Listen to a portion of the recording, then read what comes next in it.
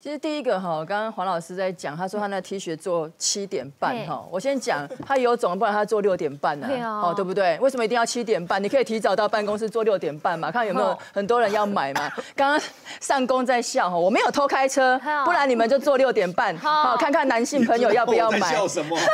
好，第二个七点半上班真的没有什么了不起的，为什么？因为你的市政的。施政满意度都是最后一名的，阿里这有什么好讲的，对不？啊不，你有这几要得一名哎，对不？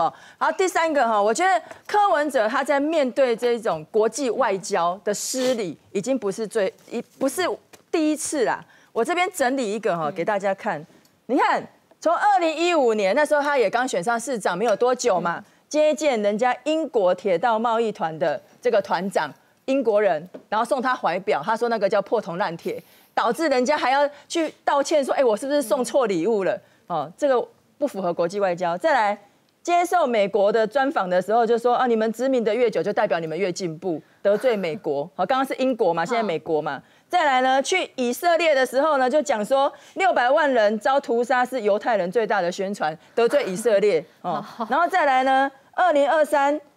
这个关于钓鱼台的，再来就去日本的时候会见麻生太郎，又把对方当成是安倍派，又得罪日本，对不对？那再来二零二三月选总统的时候，又去酸，讨厌他，对不对？酸葛莱仪又得罪美国，你现在呢接见欧洲绿党，又得罪欧洲。